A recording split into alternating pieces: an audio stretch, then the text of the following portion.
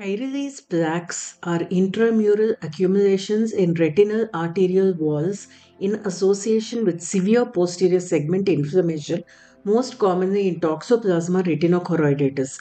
Others are secondary to various infectious agents. They have also been reported in Behçet's and brolucizumab associated retinal vasculitis.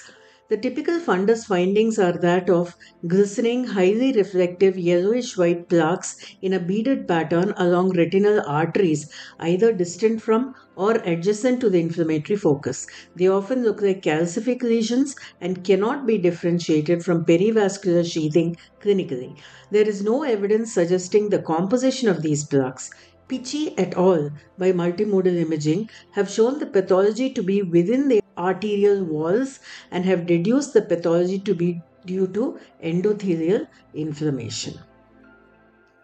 Spectral domain OCT shows hyperreflectivity in the walls of the vessels in the region of the plaques with posterior shadowing. FAF imaging shows increased autofluorescence of the vessels corresponding to the Kyrieleis plaques. Fundus fluorescent angiography shows the pathology to be confined to the vessels with hypofluorescence in the early stages and increasing hyperfluorescence in later stages and absence of leakage.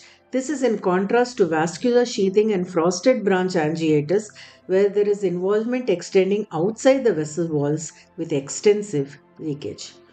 Indocyanine green angiography shows sharply delineated, dense hyperfluorescence of the vessel walls in both early and late stages. This is due to staining of the inflammatory proteins which constitute the plaques with indocyanine green.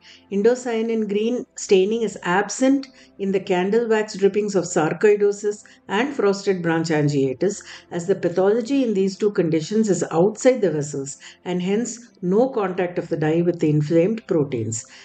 Dynamic ICGA does not show luminal occlusion, confirming that the inflammation is within the vessel walls. Sui et al., however, noted on OCTA narrowed intraluminal flow signal within the section of the arterioles with the plaques.